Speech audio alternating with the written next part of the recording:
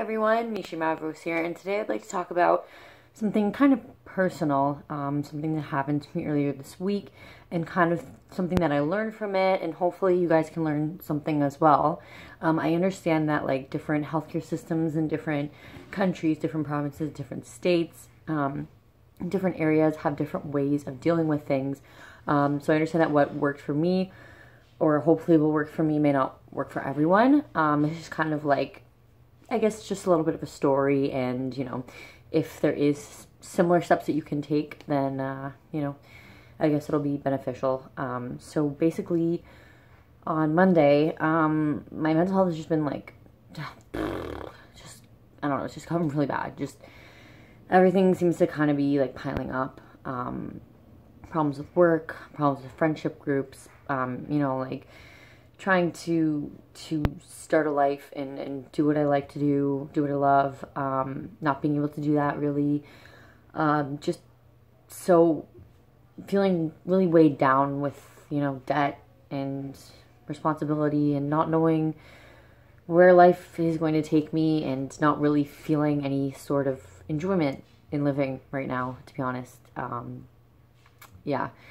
my depression's been really bad. So unfortunately, it got to the point where I was like, okay, honestly, like, I need to go right now to the hospital because I had just, I've been in this state before and I just knew that nothing good was going to come of it if I didn't go and seek help immediately. So I was like, okay, I feel like I'm going to hurt myself right now.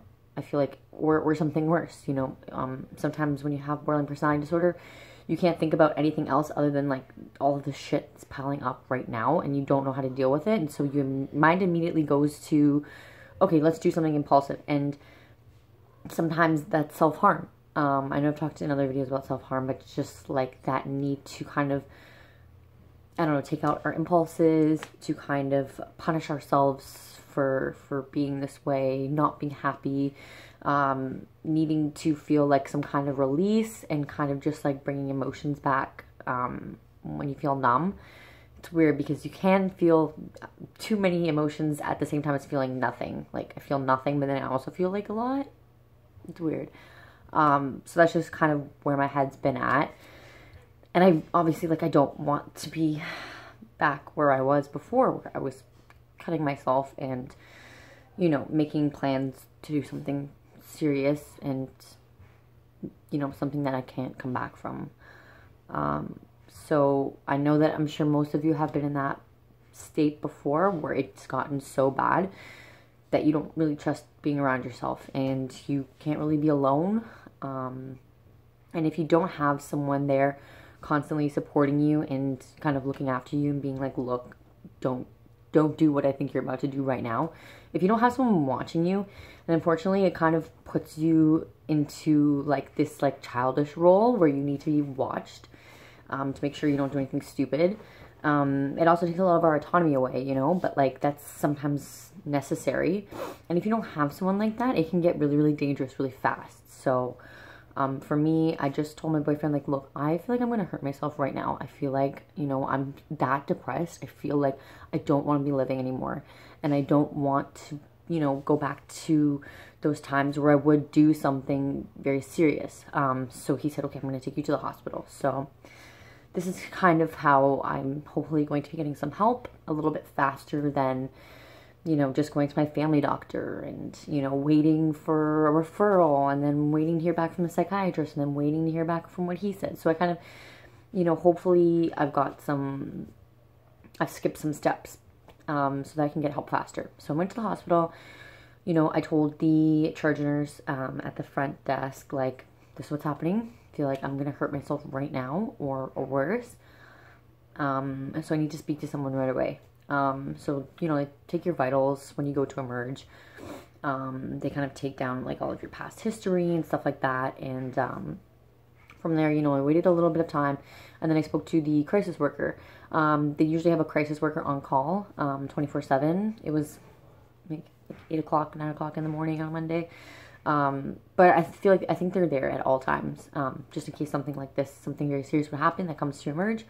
Um, so I spoke to her, kind of told her everything that's been going on, you know, how I've been feeling. I feel like I'm, you know, worthless, and you know, I feel like I need to hurt myself to, to, you know, to to kind of feel better or you know I've been in the spot where I want to take my own life and I just feel like I'm heading back there so I'm trying to like not um, so then I spoke to a psychiatrist as well kind of told him everything he kind of did some tests um, you know since I've already been diagnosed with borderline personality disorder um, they weren't really there to diagnose me with anything else to be honest I wasn't sure if there was anything else wrong with me um, but you know, I guess that can always be dealt with in the future. I feel like if they immediately saw something else other than BPD, they would have probably moved to address that. But they kind of said like, okay, seems like your BPD is getting bad again.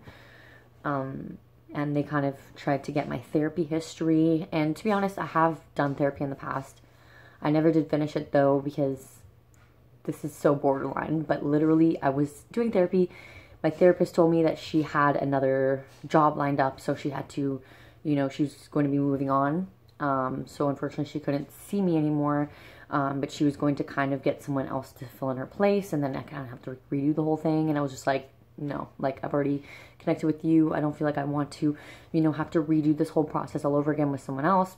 You know, now that I'm looking at it um, a little bit older, more mature, I should have accepted the help. But it's hard, you know, when, when we have these abandonment issues, and yes, I understand like our therapists are just there to help us um, but the reason we're in therapy is to kind of learn ways of dealing with these abandonment issues and, and everything like that. So, you know, if I could do it differently, then I would. Um, so they've kind of set me up now with like I'm on waiting lists for DBT, and I'm really excited about that because what I did before wasn't necessarily DBT. Um, the therapy I was in before was for comorbid disorders, um, like concurrent. So basically, it was borderline personality disorder and a substance abuse. So I was being treated for both at the time because I was you know, more so into the substances. Um, now, not so much. Now, I, you know, I don't have those other substances. Um, so it's just the borderline that thing to focus on. So, you know, I'm really excited because I've been looking a lot into dialectical behavioral therapy and I feel like it is definitely like kind of the next step for treating BPD. Like, okay, you found out you have borderline, great. Now you have to, you know, move forward in the treatment. And of course, there are medications that can help certain people. Um, but to be honest, I kind of, I kind of want to do therapy first and then, you know, go from there because I don't know, like I've just seen so many people take all these medications and, you know, try different things and, you know, some of it doesn't work. Medication doesn't work for everyone. Although I'm not trying to say that it doesn't work. Um, it has also worked great for a lot of people. Um, it's just kind of where you're at personally and kind of steps that you think are going to you know, help you move forward in life. So right now, I feel like therapy is definitely the best option. Um, the psychiatrist agrees that right now, I don't think I need to focus on um, medication. Uh, he thinks that their uh, dialectical behavioral therapy will be the best option for me right now. So I'm really excited because I just, I, I really do want to start it, and I really do think that it is necessary for me to learn um, and kind of maybe meet other people with BPD um, in real life and go to these kind of support groups, um, kind of to feel less alone and, you know, learn from others' experiences as well as my own. Because even though we all have this disorder, borderline personality disorder, what I have experienced and the symptoms, you know, that I have could be completely different from the, the next person. So, again, even with dialectical behavioral therapy, it may not work for everyone. I just feel like that is probably my next, um, the next step for me personally. Um, and I mean, they do kind of recommend it for most people with BPD. So if, if that's something that you're interested in, try and read more about it. There is like a DBT workbook I can link down below just to kind of get yourself familiarized. I mean, it is definitely better to do it in a group setting with like a registered therapist, but like there's no harm in kind of um, like researching it before you go into it.